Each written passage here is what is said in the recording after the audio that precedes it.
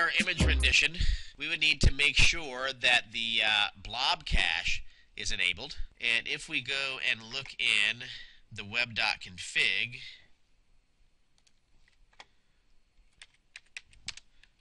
for our publishing site,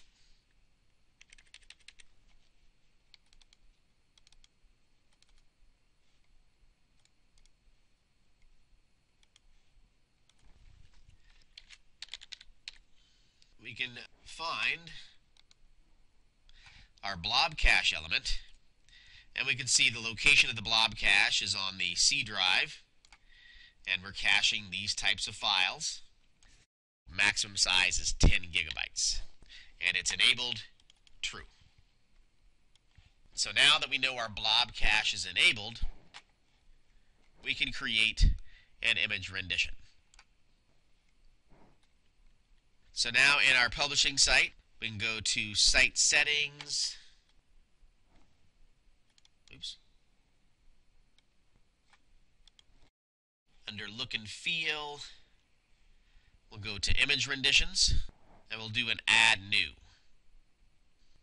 We're going to call it Landscape Large, and we'll set the width to 500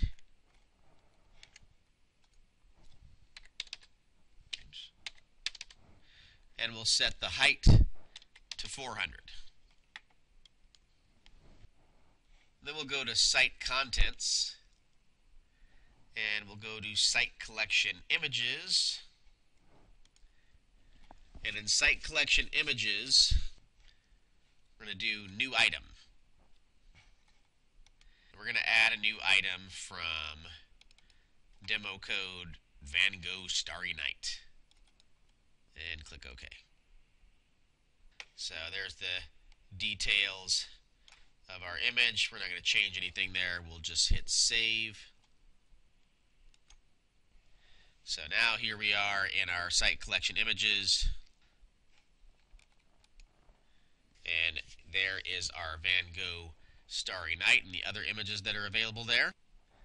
And click the check mark.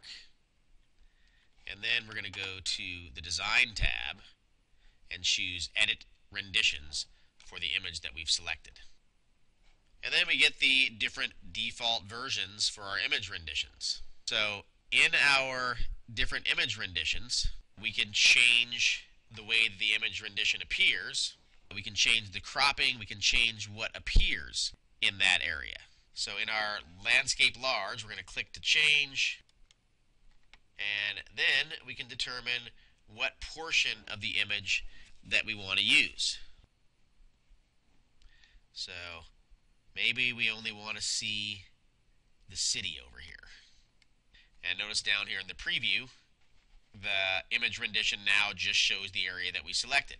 Or maybe we want to see just the tree over here. Or maybe we want a moonshot. As we drag our selection around, the image rendition determines what's going to be displayed. Now, as the resolution changes, we chose the largest resolution here, landscape large, but as we switch down to smaller resolutions, there's going to be some cropping that happens, and maybe the cropping that they do by default doesn't give us the view that we want. Like this cropping, this one's not very good. We don't see any of the city, the moon's cut off, most of the trees cut off. So if we click to change, we can drag that down so we can see the city, or drag it up so we see the moon, I personally prefer the city view.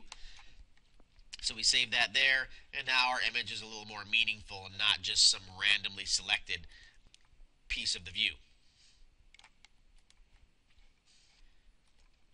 And actually, that one's pretty good. I'm okay with that one. So you can see how uh, the changing resolution of the devices might cause some of the image to be unviewable. So we can go in here and modify how that content is displayed so that the appropriate piece of the image is displayed when that type of device with that resolution views this page.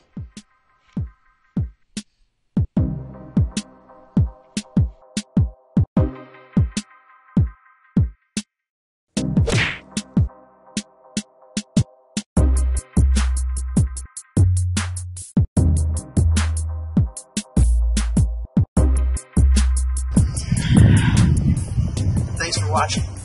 Uh, if you enjoyed the video, make sure you give it a thumbs up. Hit the subscribe button down below. Also, be sure to check out one of the related videos off to the side over here. If you really enjoyed it, you can help out by sharing the video on Facebook or Twitter. Encourage your friends to subscribe. Thanks again.